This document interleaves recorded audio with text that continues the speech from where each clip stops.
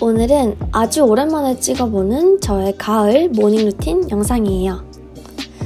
일어나자마자 바로 옆에 있던 물 한 모금 마시고 창문을 활짝 열고 밤사이 텁텁했던 공기를 환기시킵니다.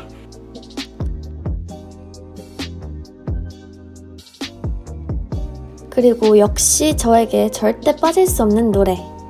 빌리 아이리쉬의 목소리를 너무 좋아해서 한창 푹 빠져있던 노래예요.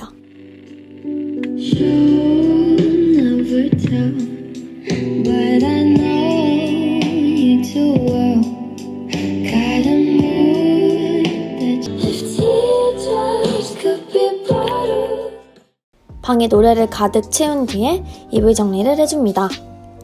사실 이불 정리 안 하는 날도 많은데 이날은 신경 좀 썼어요. 별거 아니지만 확실히 이불 정리를 하면 마음이 상쾌해지긴 하더라고요.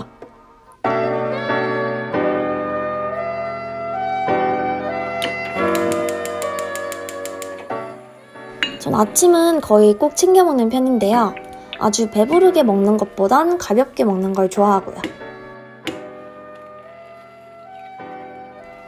그래서 집엔 항상 빵, 계란, 과일, 요거트, 그리고 커피는 항상 부족하지 않게 채우는 것 같아요.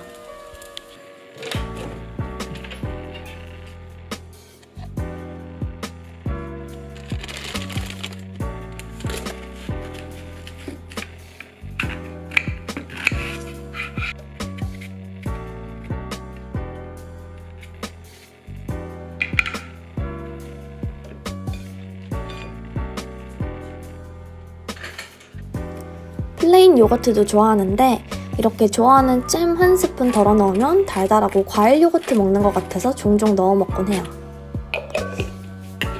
역시 모닝커피죠.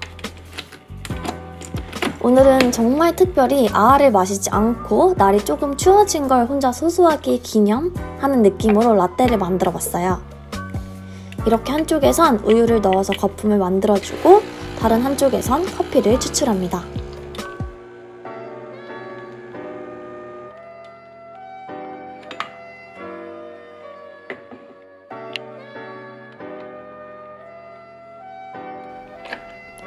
그리고 거품을 위에 부으면 끝!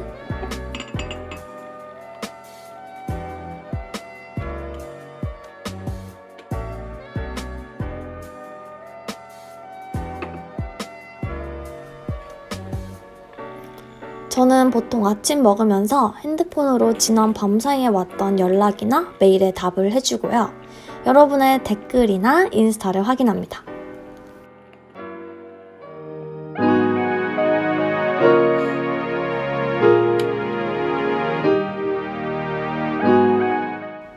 이제 씻을 시간. 아, 목욕신 찍느라 애를 엄청 먹었어요.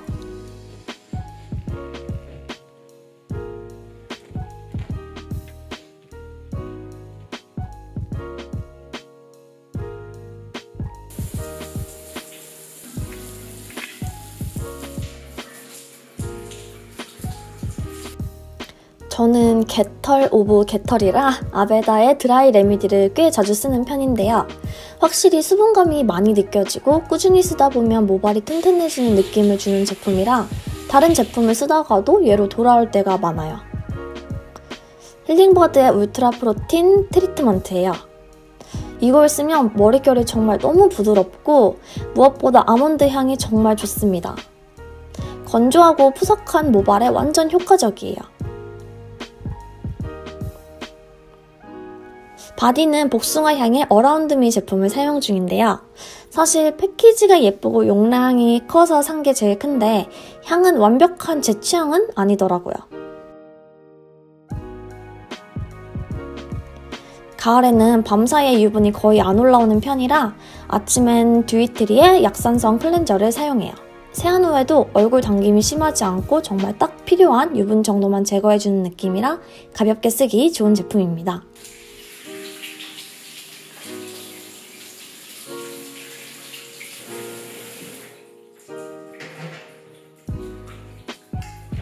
타월 드라이만 가볍게 하고 추우니까 얼른 젖은 머리를 수건 안으로 쏙 넣고 가운으로 갈아입어 줄게요.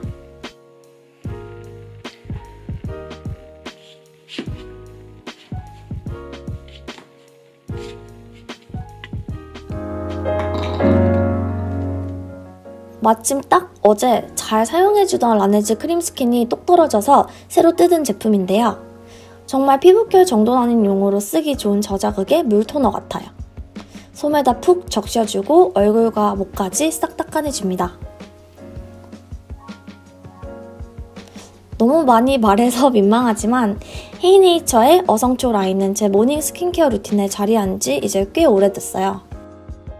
적당히 수분감이 느껴지면서 트러블 care와 진정 효과에 너무 좋아서 벌써 세 통째 쓰고 있습니다. 그리고 같은 라인의 어성초 크림인데요. 정말 순하고 요즘처럼 일교차 커서 쉽게 자극받는 피부를 한 번에 진정시켜주는 제품이에요. 아까 그 앰플과 크림을 꾸준히 써서 그런지 붉은기도 많이 진정되고 트러블이 거의 안 나서 나름 깨끗한 피부를 유지 중입니다. 순한 성분들만 가득 들어가서 민감한 피부도 부담 없이 사용 가능하고요. 마무리감도 산뜻해서 흡수만 꾹 잘 시켜준다면 저처럼 메이크업 전에 사용해도 아주 좋습니다.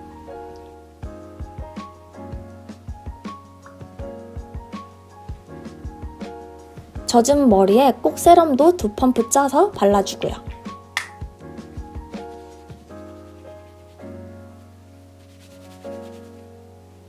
하, 저는 머리부터 발끝까지 다 건조한 피부라 바디로션은 가을에 필수예요. 이 가온도담 제품도 아주 순한 제품이고 은은한 향이 나서 바디 전체에 발라주고 있어요. 그리고 저의 최애 바디로션인 Jo Malone의 Peony & Blush. 이건 비싸기도 하고 향이 꽤 강해서 이렇게 목이나 어깨 정도에만 살짝 발라주는데 향이 하루 종일 가더라고요. 자, 본격적인 메이크업과 스타일링을 시작할게요. 오늘은 아주 데일리스러운 메이크업을 해볼 거예요.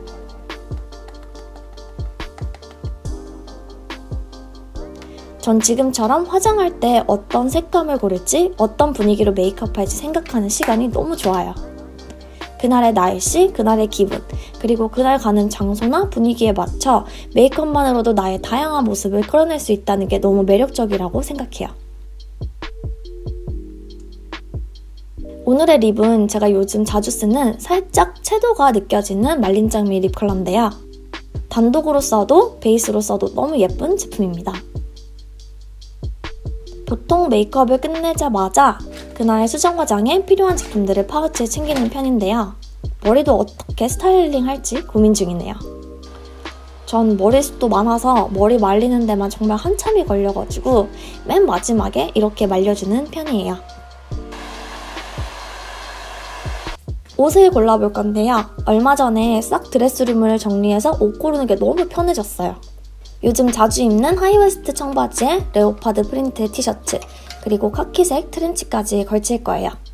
보통 옷은 대충 준비하면서 뭘 입을지 생각해 두는 편이에요. 갑자기 고르려고 하면 멘붕 오고 마음에 안 들어서 바꿔 입을 때가 너무 많거든요.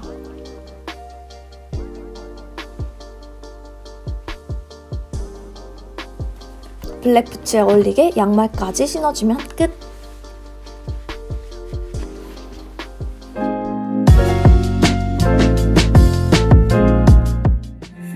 그리고 아침엔 보통 이렇게 그날의 스케줄이나 그 주에 해야 하는 일들을 정리하는 편이에요. 뻔한 일정도 이렇게 적어두면 한 번 더 생각하게 되고 시간이 지나도 기록이 남는다는 게 전 좋더라고요. 그냥 노래 틀어두고 영상 계획을 짠다거나 사야 하는 물건들을 정리한다거나 까먹지 않고 끝내야 하는 일들을 쓰다 보면 계획도 더 잘 세울 수 있어서 다이어리 쓰는 건 정말 꼭 추천드려요.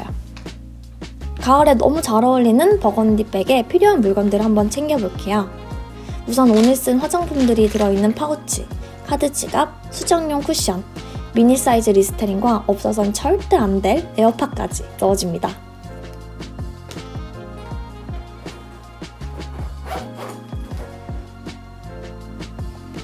오늘은 상의 색감에 맞게 베이지와 브라운이 섞인 귀걸이를 매치했어요. 개인적으로 악세서리 중에 가방과 귀걸이가 분위기를 바꾸는데 아주 큰 역할을 한다고 생각해서 정말 신중하게 고르는 편이에요. 거울로 마지막 점검을 한번 하고 외투까지 휘리릭 걸치면 나갈 준비 끝입니다. 사실 낮에 외출할 일이 없으면 보통 씻고 밥 먹고 바로 편집을 시작하는 편집쟁이지만 나가는 날엔 이런 식의 루틴을 따르는 것 같네요.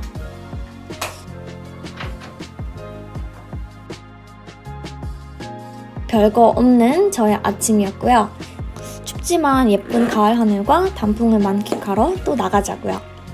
그럼 오늘 하루도 화이팅!